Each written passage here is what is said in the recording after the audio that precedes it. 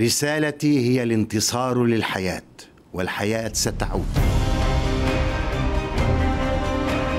لبنان البلد اللي ما بيموت. خلقوا لك وطن تتقاتل عنه. الوطن اللي بتدفع حقه دم بيبقى لك مقاومة بلا فكر قتال بلا قضية. وخاصة إذا كان الإعلام عم بيساعد للتوجيه على عدم قول الحقيقة. والساكت عن الحق شيطان أخرس.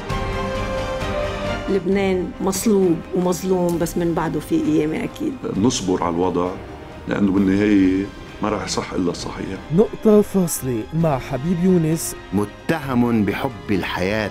وعنوان الحلقة الكون في منظار العلماء وخيال الشعراء مع عالمة الفيزياء الفلكية الدكتورة سيرين نعمة والشاعر مارون أبو شقرة الليلة 10 إلى ربع المساء مباشرة على الأو تي في.